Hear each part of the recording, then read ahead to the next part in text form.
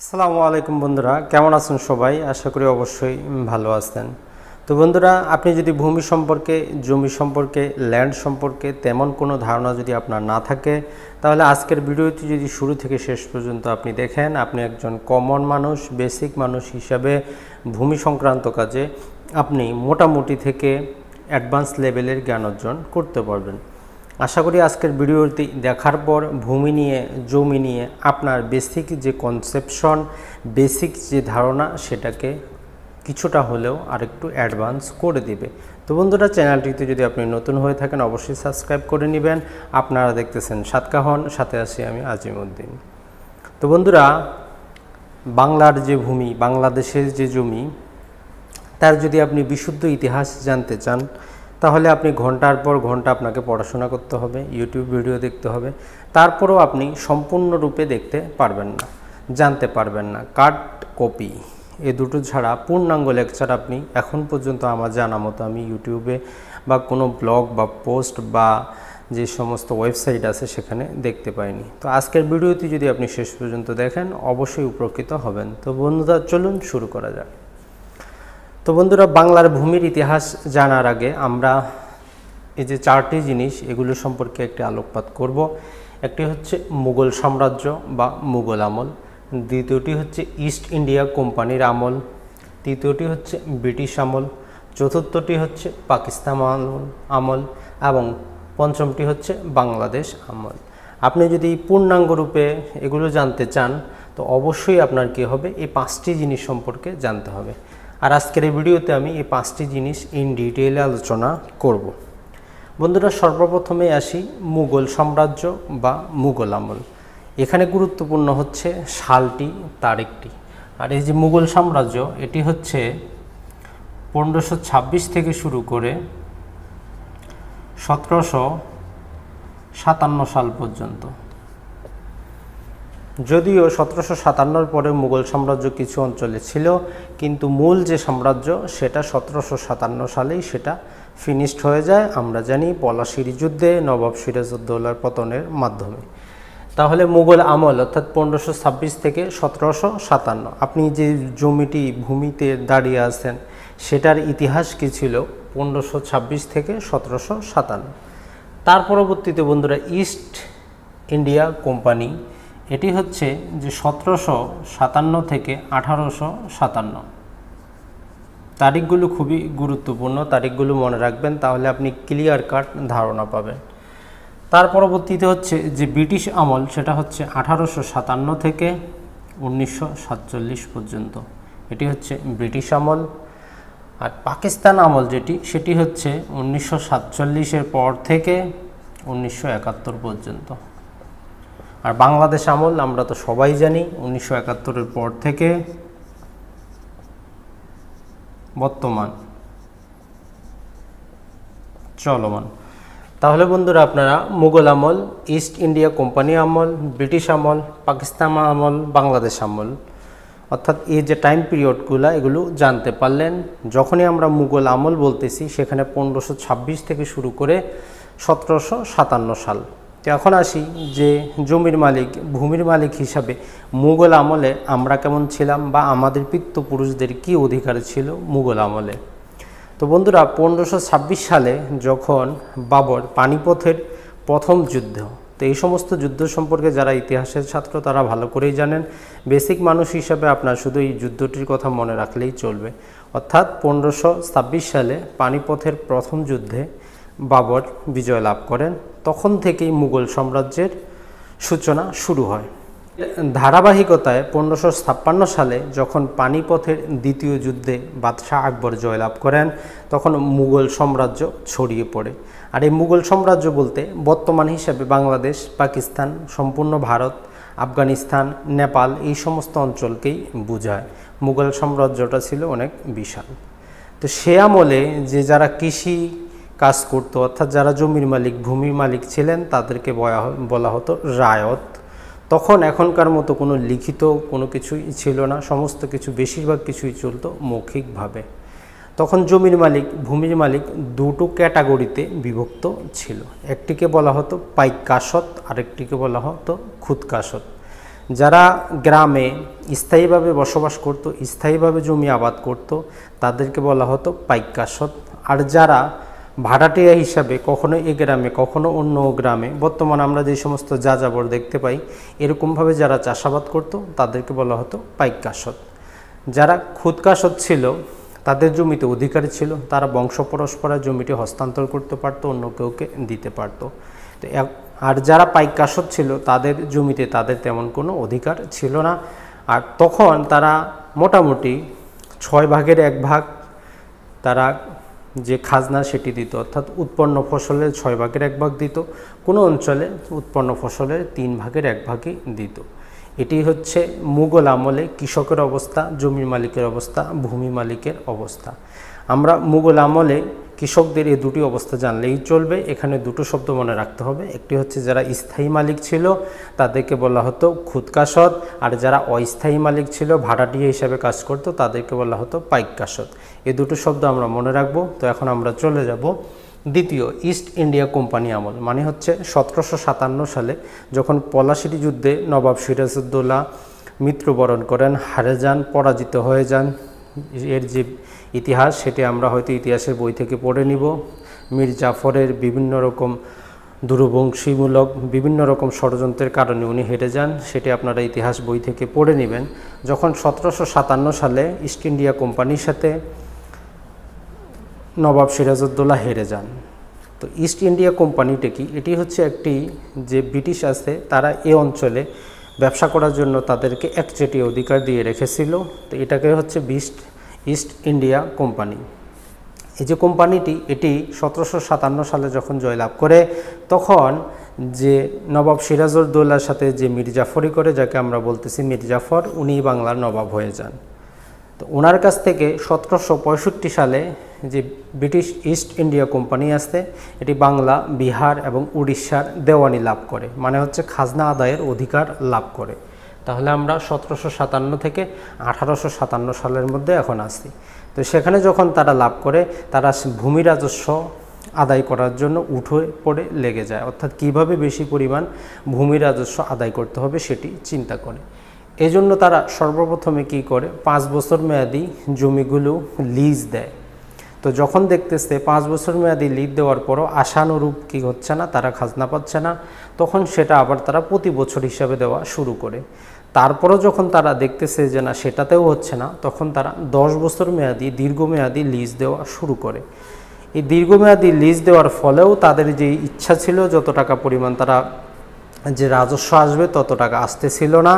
আর এই সমস্ত রাজস্ব যারা আদায় করত, যারা মধ্যভুক্ত শ্রেণি ছিল, যারা দালাল শ্রেণি ছিল, এদেরকে বলা হতো জমিদার। আপনারা হয়তো জমিদার এবং বর্তমানে যে ভূঁইয়া বংশগত আছে এরা হচ্ছে আসলে যখন আমরা ছিলাম এই যে মুঘল আমলে, এই মুঘল আমলে চাষিদের থেকে, রায়তের থেকে যারা খাজনা আদায় করে সম্রাজদেরকে দিতেন, রাজাদেরকে দিতেন, তারাই ছিল জমিদার এবং তারাই ছিল এই ভূঁইয়া বংশ। তো যখন ইস্ট ইন্ডিয়া কোম্পানির আমলে, যখন সতেরোশো পঁয়ষট্টি সালে তারা দেওয়ানি লাভ করে তখন তারা যে কাজটি করে সেটি হচ্ছে সতেরোশো তিরানব্বই সালে আসে। এটি হচ্ছে সবচেয়ে গুরুত্বপূর্ণ, এটি মনে রাখবেন। সতেরোশো তিরানব্বই, এটি আমরা যারা পড়াশোনা করেছি, তারা সবাই জানেন চিরস্থায়ী বন্দোবস্ত। তো যখন পড়াশোনা করেছেন, তখন আসলে চিরস্থায়ী বন্দোবস্তের মেইন যে জিনিসটি, সেটি হয়তো আপনারা বুঝেননি, আজকে অবশ্যই বুঝে নেবেন। তো এটি হচ্ছে সতেরোশো তিরানব্বই সালে আসে তারা কি করে? যারা খাজনা আদায়ের শ্রেণি ছিল, যারা মধ্যবর্তী শ্রেণি ছিল, তাদেরকে তারা জমির মালিকানা দিয়ে দেয়। যারা রায়ত ছিল, যারা চাষি ছিল, যারা কৃষক ছিল, যারা জমি আবাদ করতো, তাদের কাছ থেকে মালিকানাটি চলে যায়। এবং সতেরোশো তিরানব্বই সালে আসে তারা কি করে? যে দালাল শ্রেণি ছিল, মধ্য সত্যভোগী ছিল, যে জমিদার শ্রেণি শ্রেণি ছিল, যে তালুক শ্রেণি ছিল, তাদেরকে জমির মালিকানা দিয়ে দেয়। তখন থেকে জমিদার নামটির একটি সুনাম আসে। অর্থাৎ জমিদার বলতে আমরা বুঝি যে অনেক ধর্নাঢ্য বর্ণাঢ্য ব্যক্তি ছিলেন। সতেরোশো তিরানব্বইয়ের আগে জমিদার বলতে একজন মধ্যবর্ত শ্রেণি, অর্থাৎ যিনি আমরা বর্তমান ভাষায় যাকে দালাল বলে থাকি, অর্থাৎ এজেন্ট বলে থাকি, সেটি আমরা বলতে পারি, সেটি ছিল সতেরোশো তিরানব্বই সাল। তো যখন সতেরোশো তিরানব্বই সালে ইস্ট ইন্ডিয়া কোম্পানি কি করল? এদেরকে দিয়ে দিল চিরস্থায়ী বন্দোবস্ত। তো চিরস্থায়ী বন্দোবস্তে তারা কিছু সত্য সহকারে দিয়েছিল। কারণ হচ্ছে, যারা মুঘল আমল থেকে জমির মালিক ছিল, সেখানে যারা খুদকাসত ছিল, এই শব্দটি হয়তো আপনাদের মনে আসবে না, খুদকাসত। এই যে খুদকাশস ছিল, এদেরকে, এদের খাজনা বৃদ্ধি করা যাবে না অ্যাট লিস্ট বারো বছর পর্যন্ত। তো সতেরোশো তিরানব্বই সালে তারা কিছু রুলস অ্যান্ড রেগুলেশনের মাধ্যমে বন্দোবস্ত দিয়েছিল যে যারা খুদকাশস যারা রায়ত আছে, তাদের বারো বছর পর্যন্ত জমির খাজনা বৃদ্ধি করা যাবে না। কিন্তু যারা পাইক কাসত ছিল, অর্থাৎ যারা মাঝে মধ্যে জমি চাষাবাদ করতো, ভাড়া নিয়ে, ইজারা নিয়ে, তাদেরটা ইচ্ছা মতো কমানো বা বাড়ানো যেত। কিন্তু জমিদাররা যেটি শুরু করে, সেটি হচ্ছে তারা খাজনা আদায় বৃদ্ধির জন্য, কারণ হচ্ছে সতেরোশো তিরানব্বই সালে ইস্ট ইন্ডিয়া কোম্পানিকে একটি নির্দিষ্ট পরিমাণ রাজস্ব দিতে হতো প্রতি বছরের শেষান্তে এজন্য একটি আইন ছিল, সেটি হচ্ছে সূর্যাস্ত আইন। অর্থাৎ যদি নির্দিষ্ট সময়ে রাজস্বটি যদি দেওয়া না হয়, তাহলে জমিদারিটি নিলামে বিক্রি করা হতো, নতুন মালিককে দেওয়া হতো। এজন্য যারা জমিদার ছিল, তারা কৃষকদের উপর থেকে চড়া যে খাজনা সেটি নিতে শুরু করে। অর্থাৎ আবাদ হোক বা না হোক তারা সেটি খাজনা চায়, এমনকি ফসলের পরিবর্তে তারা নগদ টাকা পয়সাও খাজনা হিসাবে আদায় করে। কিন্তু যখন এই খুদকাসত চাষিদের যখন একটি জমিদারি নিলামে বিক্রি হয়ে যেত, যারা চিরস্থায়ীভাবে জমির মালিক ছিল, কায়েমি সত্য ছিল যাদের তাদেরকে কি করা হয়? তাদের জমিটিও নিলামে বিক্রি করে দেওয়া হয়। অর্থাৎ যখন নতুন মালিক আসে, তখন আর সে যে খুদকাসত ছিল তাকে মালিক বলে গণ্য করা হয় না। তার যে খাজনাটি, সেটি বৃদ্ধি করা হয়। অর্থাৎ সতেরোশো তিরানব্বই সালের আইনে যেটি ছিল, বারো বছরের অধিক না হলে কি করা যাবে না? খাজনা বৃদ্ধি করা যাবে না। কিন্তু যখন নিলামে বিক্রি হয়ে যায়, তখন নতুন মালিক এসে খাজনা বৃদ্ধি করে দেন। তো এভাবে যখন চলতে থাকে বিভিন্ন আন্দোলন সংগ্রামের মাথায়, আঠারোশো যে বাইশ সাল, এই সালটি আমাদের গুরুত্বপূর্ণ।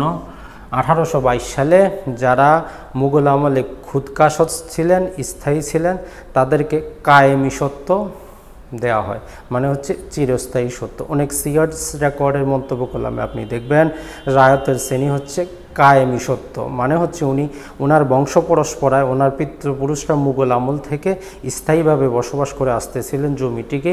ওই জন্য সেখানে কায়েমি সত্য, এই শব্দটি ইনপুট করা হয়। এটি হচ্ছে আঠারোশো বাইশ সাল। তো এর মধ্যে আরও বিভিন্ন ঘটনা ঘটেছে, সেগুলো আমরা না জানি।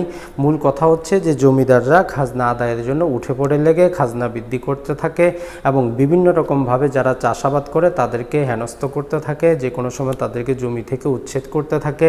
যেখানে মুঘল আমলে তাদের স্থায়ী, সেখানে সত্য ছিল তারা সমস্ত কিছু করতে পারতো, সেখানে তারা পাকা ঘর তৈরি করতে পারতো, পুকুর খনন করতে পারতো, গাছ কাটতে পারতো। সেটা যখন জমিদারি আমলে চলে আসে। যেহেতু জমিদার জমির মালিক, সেজন্য এই সমস্ত কিছু করতে, অর্থাৎ একটা পাকা বাড়ি তৈরি করতে জমিদারের অনুমতি নিতে হতো, একটু পুকুর খনন করতে জমিদারের অনুমতি নিতে হতো। এই সমস্ত বিভিন্ন সমস্যায় তখন কৃষকরা, চাষিরা, রায়তরা ছিলেন ব্যস্ত। তো এজন্য যেটি হচ্ছে, সেটি হচ্ছে যখন সতেরোশো আঠারোশো সাতান্ন সালে তখন কি হয়, ব্রিটিশ যে ইস্ট ইন্ডিয়া কোম্পানির কাছ থেকে ব্রিটিশ সরকার ক্ষমতা গ্রহণ করে নেয়। আঠারোশো সাতান্ন সালে। যখন আঠারোশো সাতান্ন সালে এই ক্ষমতা গ্রহণ করে নেয় এবং এ অঞ্চলে কৃষকদের বিভিন্ন রকম আন্দোলন তখন কিন্তু চলতেছিল। এ তো এটি দেখে তারা যে কাজটি করে সেটি হচ্ছে যে আঠারোশো উনষাট সালে তারা একটি আইন পাশ করে, যাকে বলা হয় খাজনা আইন বা রেন্ট। তো রেন্ট অ্যাক্ট বা খাজনা আইন এটি বর্তমানেও বাংলাদেশে প্রযোজ্য। তো এখানে তারা পূর্বকারে যে মুঘল আমলে যে দুটি শ্রেণি ছিল, একটি হচ্ছে খুদকাশস একটি হচ্ছে পাইকাশস এই শ্রেণি সবগুলো বিভক্ত, শ্রেণি সবগুলোকে বিলুপ্ত করে তারা যে কাজটি করে সেটি হচ্ছে যে যদি বারো বছর যাবৎ কেউ যদি জমিটি ভোগ করে আসতেছে, তাহলে তাকে কায়েমি সত্য দিয়ে দেওয়া হয়। কায়েমি সত্য মানে হচ্ছে চিরস্থায়ী সত্য। যেটি আঠারোশো বাইশ সালেও করা হয়েছিল। তার পরবর্তীতেও তারা আসে আঠারোশো যে উনষাট সালের খাজনা আইন, সেখানে বারো বছরের অধিক যারা দখলে আছে তাদেরকে কায়েমি সত্য দিয়ে দেওয়া হয় এবং এদের খাজনা বৃদ্ধি করা যাবে না, এদেরকে উচ্ছেদ করা যাবে না, এরা বংশ পরস্পরা জমিটি ভোগ দখল করতে পারবে, এরা চাইলে জমিটি হস্তান্তর করতে পারবে। এই সমস্ত কিছু রুলস অ্যান্ড রেগুলেশন দিয়ে কৃষক আন্দোলন, শ্রমিক আন্দোলন, বিভিন্ন যে আন্দোলন হচ্ছিল, সেগুলোকে তারা দমিয়ে রাখার চেষ্টা করে। যদিও শেষ পর্যন্ত সেগুলো কাজে আসেনি। তো বন্ধুরা, এটি হচ্ছে আঠারোশো সাতান্ন সাল। তার পরবর্তীতে যখন জমির চাহিদা বাড়তে থাকে, জমির শ্রেণি পরিবর্তন হতে থাকে, মানুষের বিভিন্ন রকম বৈজ্ঞানিক চাষাবাদের ধীরে ধীরে মানুষ শুরু করে, তো সেখানে তারা কি করে? আঠারোশো যে পঁচাত্তর সাল এটি আর একটু গুরুত্বপূর্ণ, আঠারোশো পঁচাত্তর সাল তারা জমিগুলোকে মাপার জন্য একটি সার্ভে আইন তৈরি করে, যাকে বলা হচ্ছে survey act eighteen seventy five, অর্থাৎ আঠারোশো পঁচাত্তর সালে সার্ভে অ্যাক্ট তৈরি করে। কিন্তু এ আইনটি তৈরি করাও হলেও যে র্যান্ট একটা তারা তৈরি করেছে, তার অধীনে কৃষকদের যে আন্দোলন, কৃষকদের যে সমস্যা, সেটি কখনোই কি হয়নি প্রশমিত হয়নি। তো এই জন্য আঠারোশো পঁচাত্তর সালে যে সার্ভে অ্যাক্ট, সেখানে তারা যে খতিয়ানটি প্রস্তুত করবে, যে জমির যে বায়োডাটা প্রস্তুত করবে, সেখানে মালিকের কি অবস্থা হবে, কার কোন কি পরিমাণ দখল সত্ত্ব হবে, সে সম্পর্কে কোনো কিন্তু ধারণা ছিল না। এজন্য তারা যে কাজটি করে, সেটি হচ্ছে আঠারোশো পঁচাশি সালে এসে তারা বঙ্গীয় প্রজাসত্ব আইন বলে একটি আইন প্রস্তুত করে। বঙ্গীয় প্রজাসত্ব আইন। এই যে বঙ্গীয় প্রজাসত্ব আইন, এ আইনে মূলত তারা তিন রকমের ক্যাটাগরিয়াইজড করে। একটি হচ্ছে কায়েমি সত্য মানে হচ্ছেন যারা চিরস্থায়ী, যেমন যারা ছিলেন মুঘল আমলে খুদকাশ ছিলেন। তার পরবর্তীতে ইস্ট ইন্ডিয়া কোম্পানি আমল এবং ব্রিটিশ আমলে যাদেরকে র্যান্ট অ্যাক্টের মাধ্যমে স্থায়ী যাদেরকে কায়েমি সত্য দেওয়া হয়, এদেরকে চিরস্থায়ী অর্থাৎ কায়েমি সত্য।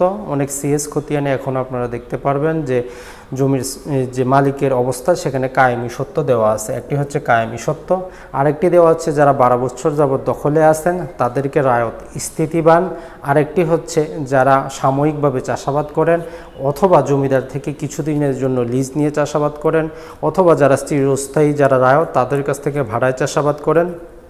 তাদেরকে কোপা বা নিম সত্য হাওলা সত্য হিসাবে তাদেরকে কি করেন? শ্রেণি বিভক্ত করেন। এই যে তিনটি শ্রেণি এই শ্রেণির আমলেই সিএস রেকর্ড তৈরি। তো এই সিএস রেকর্ড এখন আমরা দেখব এ সিএস রেকর্ড তো তাহলে বন্ধুরা, আপনারা জমির ব্যাপারে, ভূমির ব্যাপারে তিনটি রেকর্ডের কথা মনে রাখতে হবে। এগুলো আপনারা কীভাবে মনে রাখতে পারবেন? একটি হচ্ছে ব্রিটিশ আমলে সিএস পাকিস্তান আমলে এস বাংলাদেশ আমলে আরএস এই তিনটি আপনারা অবস্থার কথা মনে রাখবেন, তাহলে সবচেয়ে সহজে আপনাদের মনে থাকবে। অর্থাৎ ব্রিটিশ হচ্ছে সিএস পাকিস্তান হচ্ছে আমাদের এসএ, বাংলাদেশ হচ্ছে আরএস। এই যে সিএস, এটি আঠারোশো অষ্টআশি সাল থেকে শুরু হয় এবং উনিশশো চল্লিশ সালে এসে শেষ হয়। অর্থাৎ বাংলাদেশের এক প্রান্ত থেকে অন্য প্রান্তে এটি করা হয়। আঠারোশো অষ্টআশি থেকে উনিশশো চল্লিশ সালে আঠারোশো সালের সার্ভে আইন মানে হচ্ছে জরিপ আইন, আর এ হচ্ছে আঠারোশো পঁচাশি সালের যে বঙ্গীয় প্রজাসত্ব আইন, এই দুই আইনের মিলে তারা যে সিএস খতিয়ানটি প্রস্তুত করে। এই সিএস খতিয়ানকে অনেক অঞ্চলের ডিএস খতিয়ান, কোনো অঞ্চলে কিস্তোয়ার খতিয়ানও বলা হয়। এই সিএস খতিয়ানগুলো কি করা হয়? যেভাবে প্রস্তুত করা হয়, সেটি হচ্ছে সরজমিনে মাঠে গিয়ে প্রতিটি জমিকে মাপা হয়। এটি কত চেইন লম্বা, কত ফিট লম্বা, মেপে এর একটি ম্যাপ প্রস্তুত করা হয় বিভিন্ন স্কেলে। এবং একটি খতিয়ান প্রস্তুত করা হয়। খতিয়ানে যে জমিদারের নাম এবং নিচে যে কারা চাষাবাদ করতেছেন, তাদের নাম প্রস্তুত করা হয়। তবে বাংলাদেশের যে সিলেট এবং পার্বত্য তিনটি জেলা, সেখানে এই সিএস খতিয়ান প্রস্তুত করা হয়নি। কারণ হচ্ছে যে সিলেট জেলা, সেটি ছিল আসাম প্রদেশের অন্তর্ভুক্ত। তো এটি নিয়ে আপনারা যারা বঙ্গভঙ্গ সম্পর্কে জানেন, তারা হয়তো বুঝতে পারবেন যে এগুলো কখন যে সিলেটটি অন্য অঞ্চলে চলে গেছে, আসামের অঞ্চলে চলে গেছে, যদিও পূর্বে সমস্ত একই ছিল, অর্থাৎ বাংলা, বিহার এবং উড়িষ্যা একই ছিল। তার পরবর্তীতেও যাই হোক যে সিলেট ছিল, সেটি আসাম প্রদেশের অন্তর্ভুক্ত থাকায়, যে বেঙ্গল প্রেসিডেন্সি এর অধীনে না থাকায় সিলেট অঞ্চলে এই জরিপটি হয়নি। পরবর্তীতে উনিশশো ছত্রিশ সালে কি করা হয়? সিলেট পঁচাশত্ব এক নামে একটি এক প্রস্তুত করে তার আন্ডারে জরিপ কাজ শুরু হয়। এবং সেটি উনিশশো সালে শেষ হয় এসে যে রেকর্ডের সাথে ওই জন্য সিলেট অঞ্চলে আপনি এসে এবং সিএস একই জরিপ পাবেন। আর যে পার্বত্য তিনটি জেলা, সেখানে আজ পর্যন্ত সম্ভব হয়নি জরিপ করা। তারপরে যদিও উনিশশো চুরাশি সালে একটি উদ্যোগ নেওয়া হয়েছিল, সেখানে আদিবাসীদের চাপের মুখে সরকার ফিরে আসে। তো যাই হোক, এটি হচ্ছে আমাদের সিএস জরিপ মানে হচ্ছে আঠারোশো অষ্টআশি থেকে উনিশশো চল্লিশ। আপনি যে জমি, যে ভূমি, যেখানে আপনার বাড়ি আছে, সে বাড়িটি আঠারোশো অষ্টআশি থেকে উনিশশো চল্লিশ সালে কে মালিক ছিল, সেটিই হচ্ছে আপনার সিএস রেকর্ড তাহলে আপনি বুঝতে পারলেন, যারা বুঝতেছেন না যে সিএস রেকর্ডটা কি, কোন রেকর্ডটি মূল্যবান। আপনার যে জায়গাটিতে এখন আপনি দাঁড়িয়ে ভিডিওটি দেখতেছেন, সে জায়গাটি আঠারোশো অষ্টআশি থেকে উনিশশো চল্লিশ সালের মধ্যে কে মালিক ছিল, সেটি আপনি যেখানে পাবেন, সেটিকে বলা হচ্ছে সিএস রেকর্ড আর এই রেকর্ডের একটি ম্যাপ প্রস্তুত করা হয়েছে, একটি খতিয়ানও প্রস্তুত করা হয়েছে। তো বন্ধুরা, এটি ছিল তাহলে আমরা এই যে ব্রিটিশ আমল, সেই উনিশশো সাতচল্লিশ সাল পর্যন্ত, অর্থাৎ দেখুন, ব্রিটিশ আমলেই আমাদের সিএস রেকর্ডটি সম্পূর্ণ হয়ে যায়। তবে কিছু অঞ্চলে উনিশশো ছত্রিশ থেকে উনিশশো পঞ্চাশ সালের মধ্যে সিএস রেকর্ডের ভুল ভ্রান্তি সংশোধন করার জন্য জমির শ্রেণি যেহেতু পরিবর্তন হতে যাচ্ছিল, সেগুলো করার জন্য বিশেষত চট্টগ্রাম, কক্সবাজার, ফরিদপুর, বাকেরগঞ্জ এ সকল অঞ্চলে একটি রিভিশনাল সার্ভে যেটাকে আমরা আরএস জরিপ বলতেছি, সংশোধনী জরিপ বলতেছি। সেটি করা হয়েছে। এটি হুবহু যে সিএস যে খতিয়ানটি আছে, সেটির আমলেই তৈরি করা হয়েছে। এটি মাত্র কয়েকটি জেলায় প্রস্তুত করা হয়েছে। তো বন্ধুরা, তাহলে উনিশশো চল্লিশ সাল চলে গেল, সিএস সমাপ্ত। তারপরে সামান্য কিছুদিন পর কী হলো? যে ব্রিটিশরা এই উপমহাদেশ ত্যাগ করল এবং পাকিস্তান এবং ইন্ডিয়া দুটো দেশ পৃথক হয়ে গেল। বর্তমানের বাংলাদেশ পাকিস্তান অঞ্চলে চলে গেল এবং জমি, যে যারা মালিক ছিলেন। তো এখানে আরেকটি কথা আমরা বলে রাখি সিএস রেকর্ডে যে সমস্ত মালিকানা আছে, অর্থাৎ কায়েমি সত্য, রায়ত, স্থিতিবান, রায়ত কোপা নিম সত্য, হাওলা সত্য, কুলকোষা, বর্গাচাষী বিভিন্ন যে শ্রেণীগুলো আছে, এগুলোর উপর নির্ভর করতে হতো বিভিন্ন রকম জিনিসের উপর। কারণ হচ্ছে তারা কায়েমি সত্য ছিল, তারা চাইলে কি করতে পারতো? জমিটা হস্তান্তর করতে পারতো, জমিতে পাকা বাড়িঘর নির্মাণ করতে পারতো, জমিদারের অনুমতি ছাড়া। কিন্তু যারা রায়ত, যাদের রায়তি স্থিতিশীল ছিল তারা কি করতে পারতো না? জমিটা কারও কাছে হস্তান্তর করতে পারতো না। যদি হস্তান্তর করতে চাইতো, জমিদারের অনুমতি নিতে হতো। একটি পাকা বাড়ি তৈরি করতে হলে জমিদারের অনুমতি নিতে হতো। সেখানে একটি পুকুর কাটতে হলে, গাছপালা কাটতে হলে জমিদারের অনুমতি নিতে হতো। জমিটাকে নির্দিষ্ট পরিমাণ আবহাওয়া বা নজরানা দিতে হতো। অর্থাৎ সহজ কথা হচ্ছে উপহার দিতে হতো। তখন যখন জমিদার অনুমতিটা দিতেন, তখনই তারা সেটি হস্তান্তর করতে পারতো। তো এই জন্য বঙ্গীয় প্রজাসত্ব আইনটিকে দুই দুইবার সংশোধন করা হয়। উনিশশো আঠাশ সালে সংশোধন করে কি করা হয়? জমিদার থেকে অনুমতি নেওয়াটি চিরতরে মুছে দেওয়া হয়, কিন্তু নজরানা বা আবহাওয়া বা উপহার দেওয়াটা বাধ্যতামূলক থেকে যায়। তো এই জন্য উনিশশো আটত্রিশ সালে আবার একটি আইন করে এই সমস্ত কিছু কি দূর করার চেষ্টা করা হয়। পরবর্তীতে বিভিন্ন সংগ্রামের মাধ্যমে তারাও চেষ্টা করেন যে জমিদারি প্রথাটাই বাতিল করে দেওয়া হবে। অর্থাৎ সরাসরি যারা কৃষক, যারা চাষি, যারা রায়ত আছেন, এদেরকে জমির মালিক বানিয়ে দেওয়া হবে। এরা সরাসরি সরকারের আন্ডারে থাকবে। এ নিয়ে কাজ করতে গিয়ে কী হয়, উনিশশো সাতচল্লিশ সালে যখন দেশ বিভক্ত হয়ে গেল, উনিশশো পঞ্চাশ সালে যখন পাকিস্তান বলে যে ইস্ট যা আমরা বর্তমানে যেটিকে S A T state acquisition and tendency act বলতেছি, সেটি লাগু করা হয় এবং তখন এর জন্য একটি খতিয়ান প্রস্তুত করা আবশ্যক হয়ে পড়ে। তাহলে বন্ধুরা, আমরা মুঘল আমল, ইস্ট ইন্ডিয়া আমল, ব্রিটিশ আমল, এখন আমরা আসলাম পাকিস্তান আমলে। তার মানে আপনি যে জমি, যে ভূমিতে দাঁড়িয়ে আছেন, সেটি আপনি জানেন, আঠারোশো অষ্টআশি থেকে উনিশশো চল্লিশ সালে যে কাগজপাতি, যে দলিলপাতি, সেটি হচ্ছে আপনার সিএস রেকর্ড তো এখন আসি আমরা এসে মানে হচ্ছে উনিশশো ছাপ্পান্ন থেকে উনিশশো, যে তেষট্টি সাল, এই সালের মধ্যে যে রেকর্ড যে খতিয়ান সেটিকে বলা হয় এস এ বা হচ্ছে স্টেট অ্যাকুজিশন বা পিএস পাকিস্তান অথবা এটাকেও বলা হয় কিছু অঞ্চলে, চট্টগ্রাম, কক্সবাজারে কিছু অঞ্চলে এটাকে এমআর মানে হচ্ছে মডিফাইড রেকর্ড অথবা MRR modified record of right অথবা বাংলা তেরোশো সালে হয়েছিল বকে বাষট্টি রেকর্ডও বলা হয়। তো বন্ধুরা, তাহলে এসে যে রেকর্ডটি এটি কি করা হয়? এটির জন্য বেশিরভাগ অঞ্চলে কি করা হয়নি? সেখানে কোনো ম্যাপ প্রস্তুত করা হয়নি, সরজমিনে যাওয়া হয়নি। সেখানে যে সিএস যে ম্যাপটি প্রস্তুত করা হয়েছিল সেটির উপর ভিত্তি করে শুধু জমিদারের নামটা কেটে জমিদারের আন্ডারে যে সমস্ত রায়ত আসতেন এবং জমিদারের যে পত্তন রেজিস্টার অর্থাৎ জমিদার যে জমিগুলো যে বছর হিসাবে র্যান্ড হিসাবে তাদেরকে দিত, সেগুলো দেখে এই এসএ রেকর্ডটি প্রস্তুত করা হয়। এসএ রেকর্ডের কিছু দুর্বলতা আছে। বেশিরভাগ অঞ্চলে এটি হাতে লেখা হয় যে হিস্সা অংশ সেখানে সবার হিস্সা লেখা হয়নি। এই জন্য এখনও বহু অঞ্চলে এই নিয়ে আদালতে মামলা চলমান।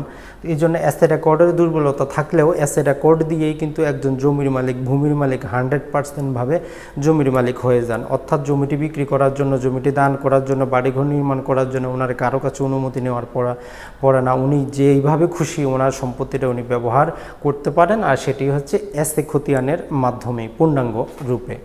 তো বন্ধুরা এই যে অ্যাসের যে খতিয়ানটি আছে এটি দুইটি অঞ্চলে মোটামুটি যে ফরিদপুর এবং খুলনা অঞ্চলে কিছু অঞ্চলে জেলায় এটি প্রিন্টেড করা হয়েছে। বাকি সমস্ত জেলায় এটি হাতে লেখা হয়েছে এবং এর তিনটি কপি প্রস্তুত করা হয়েছে। একটি তহসিল অফিসে, একটি রাজস্ব যে সার্কেল বর্তমানে আমরা এসিলেন্ট বলতে পারি। এসিলেন্ট অফিসে আর একটি বর্তমানে যেটা আমরা জেলা কালেক্টর অর্থাৎ ডিসি অফিস বলতে পারি। তিন তিনটি অফিসে প্রেরণ করা হয়েছে। এই যে এসে রেকর্ডটি আছে সেটি। তো তাহলে বন্ধুরা আমরা যেটি, সেটি হচ্ছে আমরা চলে আসলাম উনিশশো তেষট্টিতে। তো উনিশশো তেষট্টি তার মানে হচ্ছে পাকিস্তান আমল চলে গেল। ব্রিটিশ আমলে আমাদের সিএস, পাকিস্তান আমলে আমাদের এসতে তো এখন আসব আমরা বাংলাদেশ আমলে আরএস। যখন উনিশশো তেষট্টি সালে কি হলো যে এসে রেকর্ডটি উনিশশো চৌষট্টি পঁয়ষট্টির দিকে অঞ্চল ভেদে সেটি গেজেট হয়ে গেল। তখন এর মধ্যেও কিছু ভুলভ্রান্তি দেখা গেল, হিস্সার সমস্যা, যেহেতু হাতের লেখা ওভার রাইটিংয়ের সমস্যা, বিভিন্ন কারণবশত বিভিন্ন কমিশন গঠনের মাধ্যমে তারা আবার একটি রিভিশনাল সার্ভে করার উদ্যোগ নিল, যদিও সেটা চলাকালীনই বাংলাদেশে মুক্তিযুদ্ধ ঘটে এবং বাংলাদেশ স্বাধীন হয়ে যায়। তো এই জন্য এটাকে আরএস বলতে আমরা বাংলাদেশকেই বুঝাবো। তবে সালটি হচ্ছে উনিশশো ছেষট্টির পরে। বর্তমানে যে সমস্ত খতিয়ান অনলাইনে দেখা যাচ্ছে, সেগুলো হচ্ছে উনিশশো ছেষট্টির পরে যে সমস্ত খতিয়ান প্রস্তুত করা হয়েছে, যেগুলোকে আরএস খতিয়ান বলা হচ্ছে, অঞ্চলভেদে আমরা বিএস, বিআরএস বলে থাকি, সেগুলো হচ্ছে উনিশশো ছেষট্টি সালের পরে যে তৈরি আরএস খতিয়ান, সেটি। তো তাহলে বাংলাদেশ আমলে হচ্ছে আমাদের আরএস। তো আপনার জমিগুলো তাহলে আপনি মুঘল আমল, আপনি ইস্ট ইন্ডিয়া কোম্পানি আমল, ব্রিটিশ আমল, পাকিস্তান আমল এবং বাংলাদেশ আমল দেখতেছেন। তো এই সমস্ত খতিয়ান চিনার বিভিন্ন রকম পদ্ধতি আছে, সেগুলো আমার বিভিন্ন রকম ভিডিও ডিসক্রিপশন বক্সে লিঙ্ক দেওয়া আছে অথবা প্লেলিস্ট চ্যানেলটি যদি আপনি ঘুরে আসেন, সেখানে বিভিন্ন রকম খতিয়ান পরিচিতির আপনি অনেক ভিডিও পেয়ে যাবেন, সেখান থেকে আপনি জানতে পারবেন। তো বন্ধুরা, উনিশশো পরে যে খতিয়ানগুলো প্রস্তুত করা হয়েছে, এখানে দুই পাতার মোটামুটি খতিয়ান প্রস্তুত করা হয়েছে। মোটামুটি এর বেশিরভাগ অঞ্চলে এগুলোর ম্যাপও প্রস্তুত করা হয়েছে। উনিশশো সালের পরে এই সমস্ত যে খতিয়ান, এগুলোর মধ্যে বর্তমান আমরা দশমিক পদ্ধতি ব্যবহার করা হয়েছে। আর পূর্ববর্তী যে সিএস এবং এসএ এগুলোতে পূর্বে যে হিসাব ছিল আনা, গন্ডা, কড়া, কান্তি, তেল, যারা পুরাতন লোক তারা ভালো করে বুঝেন। এই সমস্ত হিসাবে হিসা অংশগুলো লেখা হয়েছে। আর যে আরএস, এটি বর্তমানেও চলমান, যদিও ঢাকা শহরে শুধুমাত্র ঢাকা সিটির জন্য আরেকটি জরিপ করা হয়েছে, যেটাকে বলা হচ্ছে সিটি জরিপ। তো বন্ধুরা, এখন আপনারা এই যে ইতিহাস, সেটি তো জানলেন, আপনারা বুঝলেন, তো এখন আপনারা হয়তো আরও ক্লিয়ারলি যে জিনিসটি জানতে চাবেন, বুঝতে চাবেন, সেটি হচ্ছে যে, ভাই, আমরা এত কিছু তো জানলাম, তো এখন আমরা সহজভাবে জানব জমির মালিকানাটা আমরা কী হিসাবে ঠিক করব? তো বন্ধুরা, দেখুন, এটি হচ্ছে আপনার সিএস এটি হচ্ছে আপনার এসএ এটি হচ্ছে আপনার আরএস। এটি হচ্ছেন আপনি আজকে দুই সাল। আপনি দুই হাজার উনিশ সালে যে জায়গাটিতে দাঁড়িয়ে এখন জমিটি, ভূমিটি দেখতেছেন, সেটি স্বভাবতই হচ্ছে যে যে সিএস রেকর্ডে যে মালিক ছিল, উনি তো জীবিত নাই ওনার বংশধর অথবা উনি বিক্রি করেছেন, এভাবে জমিটা পরিবর্তিত হয়, আপনার কাছে এসেছে অথবা আপনার পিত্তপুরুষের কাছে এসেছে। তো এই জন্য আপনি যখন দু হাজার উনিশ সালে দাঁড়িয়ে একটি জমির মালিকানা পরীক্ষা করবেন, তখন আপনাকে বিভিন্ন জিনিস লক্ষ্য রাখতে হবে। এখন শুধু আমরা যে জিনিসটি দেখব আজকের ভিডিওতে, সেটি হচ্ছে খতিয়ানের মাধ্যমে কীভাবে আপনি চেইন অফ যে ন্যারেশনটা আছে চেইন অফ ট্রান্সফারটা আছে, সেটি আমরা দেখব। তো বন্ধুরা সিএসটা আমরা অলরেডি জেনেই ফেলেছি, এটি আঠারোশো অষ্টআশি থেকে উনিশশো চল্লিশ। আর এসেটা উনিশশো উনিশশো যে ছাপ্পান্ন থেকে উনিশশো তেষট্টি। আর যে আরএস এটা উনিশশো থেকে চলমান আর উনি দুই হাজার উনিশ সাল। তো এখন আপনি যে জমিটি ক্রয় করতে আসতেছেন, সেই জমিটি হতে পারে যে আরএসটা করিয়ে জমির মালিক ওনার ছেলে অথবা আপনি ওনার ছেলে অথবা উনি কারও কাছে বিক্রি করেছেন, আপনি এখানে একটি নামজারি খতিয়ানে আছেন। আর এই যে জরিপ, এগুলোকে বলা হয় রেকর্ডীয় খতিয়ান বা রেকর্ড অফ রাইট বা আরওয়ার এগুলো বিশ, তিরিশ, পঞ্চাশ বছর পর পরই করে থাকেন। এর মধ্যবর্তী যদি মালিকানার পরিবর্তন ঘটে, সেখানে কি করা হয়? নামজারি করা হয় রেকর্ড সংশোধন করা হয়। সেটি হচ্ছে নামজারি। এই যে রেকর্ডটি এই যে জমিটি, এটি যখন আপনি পরীক্ষা করবেন, আপনাকে জাস্ট দেখতে হবে আপনার অঞ্চলে, যেহেতু বাংলাদেশের সমস্ত অঞ্চলে এখনও আরএসটি কি হয়নি, সমাপ্ত হয়নি। আপনার অঞ্চলে সর্বশেষ খতিয়ান কোনটি, এটি আগে আপনাকে জেনে নিতে হবে। আপনি যারা আমিন, তাদেরকে যদি বলেন, তারা বলে দিব, অথবা তহসিল অফিসে যদি যান, অথবা যারা সামান্য কিছু জমি নিয়ে ঘাটাঘাটি করেন, তারাও জানেন যে তাদের অঞ্চলে কোন জরিপটি সর্বশেষ। তারপরেও যদি আপনি বগুড়া, রংপুর, পঞ্চগড়, ঠাকুরগাঁও, দিনাজপুর লালমনিহাট কুড়িগ্রাম এদিকে যদি হয়ে থাকেন, এদিকে সর্বশেষ যে জরিপ, সেটি হচ্ছে এসে এর পরবর্তীতে এখনও জরিপগুলো গেজেট হয়নি, কিছু সামান্য কিছু হয়েছে। সেই তুলনায় আপনি যদি ঢাকা অঞ্চলে যান, সেখানে সর্বশেষ হচ্ছে সিটি জরিপ। আপনি যদি কুমিল্লা, চট্টগ্রাম, কক্সবাজার দিকে চলে যান, সেদিকে হচ্ছে সর্বশেষ হচ্ছে আপনার আরএস জরিপ। তো এখন হচ্ছে তাহলে আপনি যে জমি, যে ভূমিটি ক্রয় করতেছেন সেটি আগে সর্বপ্রথমেই দেখুন যে বর্তমান যার কাছে আছে, উনি যদি উনার যে আরএস রেকর্ড, সর্বশেষ রেকর্ডটা কার নামে? অর্থাৎ আরএস রেকর্ডটি কার নামে? যদি যে জমিটি বিক্রি করতে চাচ্ছে উনার নামে হয়ে থাকে, তাহলে আপনার টেনশন নেওয়ার কোনো কারণ নাই, উনি রেকর্ডীয় সম্পত্তির মালিক।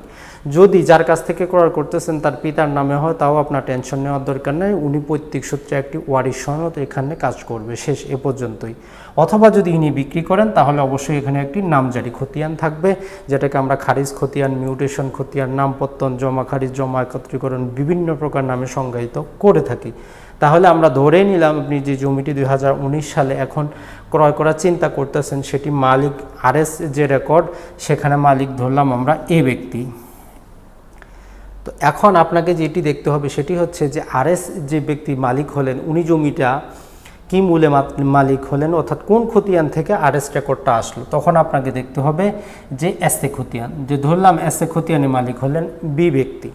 এখন এ ব্যক্তি এবং বি ব্যক্তির মাঝে বংশগত সম্পর্ক থাকতে পারে, অর্থাৎ পৈতৃক সূত্রে, ইসলামিক সূত্রে, অথবা হিন্দু উত্তরাধিকার আইন হিসেবে উনি জমিটা পেতে পারেন, অথবা জমিটা তিনি কিং ক্রয় করতে পারেন, অথবা আদালতের মূল্যে উনি কী করতে পারেন, ক্রয় করতে পারেন। তো আমরা সচরাচর ধরে নিলাম উনি জমিটি কি করেছেন, বিক্রি করেছেন। তো এজন্য যে বি ব্যক্তি, উনি জমিটি বিক্রি করেছেন, এখানে অবশ্যই একটি দলিল আপনি পাবেন এবং একটি খতিয়ান আপনি পাবেন, নামজারি খতিয়ান। অর্থাৎ এস এ যে রেকর্ডীয় মালিক, উনি যে জমিটি বিক্রি করেছেন, সেই দলিল দিয়ে এই যে এ ব্যক্তি জমিটি ক্রয় করেছেন, উনি অবশ্যই নামজারি করেছেন। এখানে আপনি একটি নামজারি খতিয়ান পাবেন। আর এই নামজারি খতিয়ান ছিল বলেই, দলিল ছিল বলে আর এস রেকর্ডে উনি মালিক হয়েছেন। তো তাহলে বুঝুন এ রেকর্ডে যিনি মালিক ছিলেন, তার থেকে যিনি ক্রয় করেছেন, ক্রয় দলিল দিয়ে উনি নামজারি করেছেন। নামজারি করেছেন বলেই উনি কি আরএস রেকর্ডে মালিক হয়েছেন। বিশেষ কিছু ক্ষেত্রে হয়তো উনি নামজারি করেননি, শুধু দলিলটি আছে তারপরে উনি আরএস রেকর্ডে মালিক হয়ে গেছেন। এটি হতে পারে কারণ নামজারিতে এখন যেভাবে আমরা নামজারির জন্য অনেক প্রগ্রেসিভ হয়েছে, আগে কিন্তু ভূমি, জমি ক্রয় করলে আমরা সন্তুষ্ট থাকতাম, সেটি নামজারি নিয়ে আমাদের মাথা ব্যথা ছিল না। তো বন্ধুরা, এখন যে এসে এসে থেকে আপনার জমিটি দেখবেন আপনি সিএসএ মালিককে। তো ধরলাম সিএসএ মালিক হচ্ছেন সি ব্যক্তি। মালিক বলতে আমরা এখানে সিএসের যে জমিদারের কলাম দেখাচ্ছি না, আমরা দেখাচ্ছি রায়তের শ্রেণীটা, অর্থাৎ রায়তটাকে তো তার সাথে এই যে এসে ব্যক্তির কি সম্পর্ক? উনি কি পৈতৃক সূত্রে পেয়েছেন, ওয়ারিশ সূত্রে পেয়েছেন, না হেবা দলিল ক্রয় দলিল, নিলাম সূত্রে, না কী হিসাবে জমিটি ক্রয় করেছেন? তা আমরা স্বাভাবিকভাবে ধরলাম যে জমিটি এগুলো বিক্রয়ের মাধ্যমে এই চেইনটি এসেছে। তাহলে দেখুন, দুই হাজার উনিশ সালে যে জমিটি আপনি ক্রয় করতে চাচ্ছেন, সেটি আরএস রেকর্ডের মালিক হচ্ছেন এ ব্যক্তি এস এ রেকর্ডের মালিক হচ্ছেন বি ব্যক্তি সিএস রেকর্ডের মালিক হচ্ছেন সি ব্যক্তি। এখন আপনাকে এ ব্যক্তি থেকে বি ব্যক্তি বি ব্যক্তি থেকে সি ব্যক্তি, এদের মধ্যে একটা chain of narration chain of transfer আপনাকে প্রতিষ্ঠা করতে হবে। এ প্রতিষ্ঠাটা করবে কিসে? প্রতিষ্ঠাটা করবে আপনার একটি দলিল অথবা একটি ওয়ারিশ সনদ। অথবা অন্য কোনো যে কোনো প্রকার আদালতের, উপযুক্ত আদালতের কনসার্ন আদালতের ডিগ্রি আপনাকে এই চেইনটা দিয়ে দিবে। অর্থাৎ এই ব্যক্তি যে বি ব্যক্তির কাছ থেকে সম্পত্তিটা নিল, উনি একটি দলিল পাবেন, সেই দলিল দিয়ে উনি নামজারি করতেও পারেন, নাও করতে পারেন। যদি নামজারি করে থাকেন, একটি নামজারি খতিয়ান পাবেন, না হলে জাস্ট পরবর্তী রেকর্ডে সেই দলিল মূলে একটি ওনার রেকর্ডটি পাবেন। তো যখন আপনি দেখবেন যে এ ব্যক্তির সাথে বি ব্যক্তির সম্পর্কটা ওকে এবং বি ব্যক্তির সাথে সি ব্যক্তির সম্পর্কটা ওকে, তার মানে আপনার মালিকানায় কোনো সমস্যা নাই, অন্তত অ্যাটলিস্ট খতিয়ানগতভাবে অর্থাৎ এভাবেই মালিকানাটা আপনাকে ঠিক করে নিতে হবে। তার মানে আজকে আপনি দুই হাজার উনিশ সালে যে জায়গাটাতে বসে আছেন, সেটি আঠারোশো অষ্টআশি থেকে উনিশশো চল্লিশ সালে মালিক ছিল সি ব্যক্তি, সেটি উনিশশো ছাপ্পান্ন থেকে উনিশশো তেষট্টি সালে মালিক ছিল বি ব্যক্তি, এবং উনিশশো পরে আজ পর্যন্ত মালিক হচ্ছেন এ ব্যক্তি। তখন এদের মধ্যে যদি, দলিল যদি না থাকে, ওয়ারি সনদ যদি থাকে, জমিটি যদি দখলে থাকে, জমিটি যদি খাজনা নেওয়া হয়, জমিটি যদি সরকারি কোনো যদি স্বার্থ যদি জড়িত না থাকে, অর্থাৎ সরকার যদি অধিগ্রহণ না করে, নিলামে ক্রয় না করে, সেটি যদি না করে থাকে, তাহলে আপনার মালিকানার কোনো সমস্যা নেই। তবে বিশেষ কিছু অঞ্চলে, যে অঞ্চলে সিএস খতিয়ানগুলো বিশেষত ঢাকার যে জয়দেবপুর, গাজীপুর এবং যে নবাব স্টেটের কিছু সম্পত্তি আপনারা সিএস রেকর্ডে পাবেন, যেগুলো করা করা থেকে অবশ্যই আপনারা দূরে থাকবেন। কারণ হচ্ছে এ নিয়ে আমার সেপারেট ভিডিও আছে। সেখানে আপনারা দেখে নেবেন যে ভাওয়াল স্টেট এবং রাজ স্টেট, নবাব স্টেট এই সমস্ত সম্পত্তি নিয়ে আদালতে আজ পর্যন্ত মামলা চলমান। যেহেতু এগুলোর কোনো রায় আসেনি, তাই এই সমস্ত যদি কোনো সিএসটা করে মালিক ভাওয়াল স্টেট, রাজ স্টেট থাকে, সেই সম্পত্তি আপনারা ক্রয় করা থেকে বিক্রত থাকবেন। যদিও গাজীপুর ছাড়াও রাজশাহী, ময়মনসিংহ এবং অন্য কিছু অঞ্চলেও এই সমস্ত ভাওয়াল স্টেট এবং যে নবাব স্টেটের জমি আছে, সেগুলো ক্রয় করা থেকে বিক্রত থাকবেন। তো আজকে থেকে আপনি যখনই কোনো ফ্লট অথবা জমি ক্রয় করেন, সেখানে আপনি প্রথমেই মনে রাখবেন যে আপনার জমিটি আঠারোশো অষ্টআশি থেকে উনিশশো চল্লিশ সালে যে সিএস রেকর্ড হয়েছিল, তার মালিককে তার থেকে যে এসএ রেকর্ডে উনিশশো যেটা ছাপ্পান্ন থেকে তেষট্টি সালে প্রস্তুত হলো, সেই এসএ রেকর্ডে মালিকটাকে এবং তার থেকে যে আরএস রেকর্ড যেটি উনিশশো যে তেষট্টি থেকে, উনিশশো ছেষট্টি থেকে বর্তমান পর্যন্ত চলমান এখানে যে মালিক, সে মালিককে। এই যে খতিয়ানগুলো আপনারা নিয়ে নেবেন, খতিয়ানের সাথে দলিল, দলিলগুলোর সিরিয়াল মিলাবেন অথবা ওয়ারি সূত্রের যে সম্পর্কটা মিলাবেন, তাহলে আপনারা হান্ড্রেড পারসেন্ট পাবেন। তবে কিছু অঞ্চলে যেখানে হচ্ছে এস এ পূর্ববর্তী একটি আরএস পাবেন আপনারা, সেক্ষেত্রে আপনাকে যেতে হবে আরেকটু পেঁচিয়ে, তার মানে হচ্ছে এখানে যদি আপনি ঢাকায় হন, তাহলে আপনি দুই হাজার উনিশ সালে এখানে একটি সিটি জরিপ পাবেন। অর্থাৎ এই সিটি জরিপে কে মালিক? তার পরবর্তীতে আরএস জরিপে কে মালিক? তার পরবর্তীতে এস এ জরিপ? তার পরবর্তীতে আপনাকে আরএস? তার পরবর্তীতে সিএস অর্থাৎ আপনার অঞ্চলে কি কি জরিপ হয়েছে সেগুলো জেনেই আপনাকে মালিকানাটা পরীক্ষা করতে হবে। আপনি যদি ঢাকা সিটিতে হয়ে থাকেন, তাহলে সিটি জরিপ, আরএস জরিপ, এস এ জরিপ সিএস জরিপ। যদি আপনি কক্সবাজার, চট্টগ্রাম এবং বাকেরগঞ্জ যে খুলনা আছে, সেদিকে যদি পরীক্ষা করতে যান, তাহলে আপনাকে এসে তাহলে আপনাকে আরএস এসতে এবং আবার আরএস তারপরে যেতে হবে আপনাকে সিএস তো এটি হচ্ছে বন্ধুরা জমির ইতিহাস। আপনি যদি জমি সম্পর্কে, ভূমি সম্পর্কে নতুন হয়ে থাকেন, আজকের এই মাত্র ছত্রিশ থেকে চল্লিশ মিনিটের ভিডিওটি দেখার পর আমি আশা করি ভূমি সংক্রান্ত, জমি সংক্রান্ত আপনি কিছু হলেও বেসিক ধারণা পেয়েছেন তো বন্ধুরা, চ্যানেলটি যদি ভালো লাগে আপনি যদি থেকে উপকৃত হন, যদি কোনো কিছু জানার থাকে, আসলে ভূমি বিষয়ক এগুলো যে লেকচারগুলো, এগুলো চার পাঁচ ঘন্টায় শেষ করার কথা, সেখানে জাস্ট মাত্র আমি চল্লিশ মিনিটের মধ্যেই শেষ করতেছি। এরপরও যদি আপনাদের কিছু জানার থাকে, তো অবশ্যই জানাবেন। আর যে জিনিসটি বারবারের মতোই করব সেটি হচ্ছে যদি কোনো জমিতে, ভূমিতে আপনার যদি বর্তমানে যদি দখল না থাকে সিএস রেকর্ড মূলে এস এ রেকর্ড মূলে আর এস রেকর্ড মূলে মালিকানা দাবি করে কোনো লাভ নাই। আপনি সারা জীবন আদালতে গড়াবেন। আপনার যদি জমিটির দখল না থাকে অ্যাট লিস্ট বারো থেকে পনেরো বছর যদি আপনার দখল না থাকে সেখানে যদি অন্যজন দখল থাকে, অন্যজন যদি বাড়িঘর করে থাকে, তাহলে একজন সাধারণ ব্যক্তি হিসাবে আপনার উচিত হবে না সেই জমি নিয়ে আপনি মামলা মোকদ্দমা করা। আপনি যদি নিজে আইনজীবী হয়ে থাকেন, অর্থাৎ মামলা পরিচালনার জন্য আপনার যদি এক্সট্রা কোনো খরচ বহন করতে না হয়, সেক্ষেত্রে আপনি মামলা দায়ের করতে পারেন, তাহলে আপনি হয়তো পেলে, পেতেও পারেন। কিন্তু একজন স্বাভাবিক মানুষ হিসাবে, স্বাভাবিক ব্যক্তি হিসাবে জমি যদি আপনার দখলে না থাকে, এই সমস্ত রেকর্ড মূলে আজকে পঞ্চাশ বছর, আশি বছর পরে যে জমি আপনার দখলে নাই, সেটির জন্য মামলা করা, তার মানে হচ্ছে নিজের টাকা, নিজে যে টাকাটা বর্তমানে আছে, এটাও হচ্ছে আপনার পানিতে ফেলা। কারণ হচ্ছে বাংলাদেশে একটি মামলা রায় পেতে আপনার পঞ্চাশ থেকে ষাট বছর সময় লেগে যাবে। কারণ যে বর্তমানে জায়গাটিতে আছে, সে সেখানে অবশ্যই তারা যদি একটু আপনার থেকে প্রভাবশালী হয়, আপনি যেভাবে মামলা করবেন, দশ বছর পরে রায় পাবেন, তারপরে আপিল হবে, তারপরে আপিল হবে, এভাবে চলতেই থাকবে।